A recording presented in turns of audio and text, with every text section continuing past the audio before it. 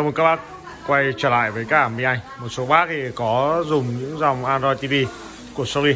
Các model như X7500, X8050 hay X9000H của năm 2020 ấy thì đang mong muốn em hướng dẫn cách có thể cập nhật được TV lên giao diện Google TV như của năm 2021 Đây là giao diện của Android 9 trong năm 2020 Và một số bác thì muốn yêu cầu em hướng dẫn cách để có thể cập nhật TV lên cái phiên bản có giao diện của cái Google TV trong năm 2021 thì trong clip ngày hôm nay thì em sẽ hướng dẫn các bác cách có thể cập nhật phần mềm hệ thống trên các dòng TV Sony và một số lưu ý liên quan.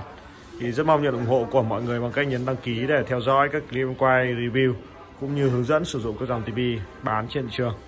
Cảm ơn mọi người.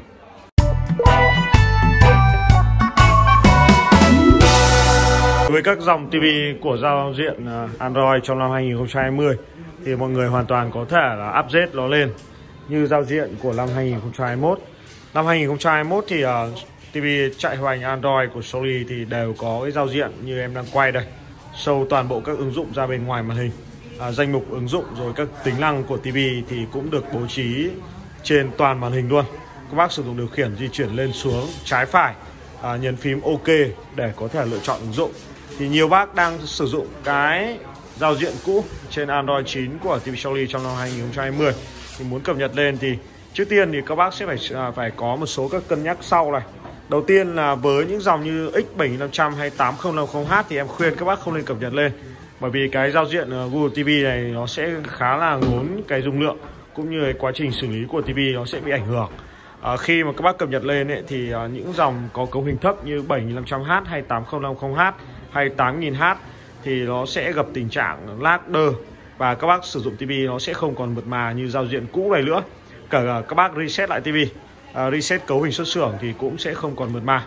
Nên là em à, lưu ý các bác với các bác có 7500H 8050H hay 8000H thì đừng có cập nhật lên sử dụng cái giao diện cũ này hơn.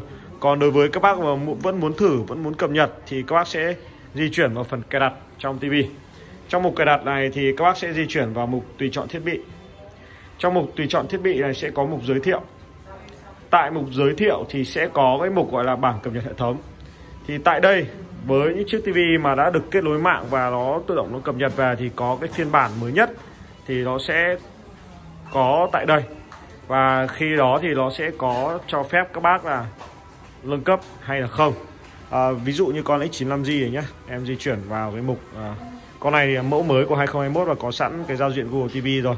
Còn đối với các bác mà sử dụng TV 9000H ấy, thì các bác có thể thao tác. Thì các bác sẽ di chuyển vào mục cài đặt vào mục uh, hệ thống vào mục uh, giới thiệu. Trong mục giới thiệu có cập nhật phần mềm hệ thống này. Thì tại mục cập nhật phần mềm hệ thống này thì mọi người sẽ ấn vào cập nhật phần mềm.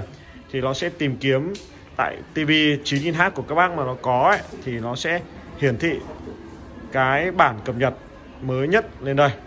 Thì tại đây thì nó sẽ đây bản V6.4284 này tháng 11 năm 2021 thì mọi người ngay tức mọi người ấn cập nhật. Và sau đó thì chờ TV nó xử lý thôi là các bác có thể thao tác được. Đấy, với những chiếc TV có giao diện Android 9 Android cũ. Đây, như con này. Thì có cái bản cập nhật của bản tháng 10 hay tháng 11 nếu có cái bản như như vậy thì các bác ấn vào cập nhật. Sau đó thì cho TV nó cập nhật lên. Các bác chờ chạy xong khởi động lại TV thì có thể là thưởng thức cái giao diện Google TV thôi. À, nhưng mà cái việc mà em à, à, lưu ý các bác ấy cái việc mà các bác à, phải xem lại cái cấu hình TV của nhà các bác có đủ khỏe hay không. À, với các bác mà sử dụng những con TV có cấu hình thấp thì các bác nên lưu ý rằng là cái việc à, các bác cập nhật lên ấy, thì nó sẽ ảnh hưởng khá là lớn tới cái khả năng các bác sử dụng TV nó mượt mà hay là không? Đấy, cập nhật lên Android giao diện Google TV mới thì à, với những con có cấu hình cũ thì nó sẽ rất là đơ và chậm.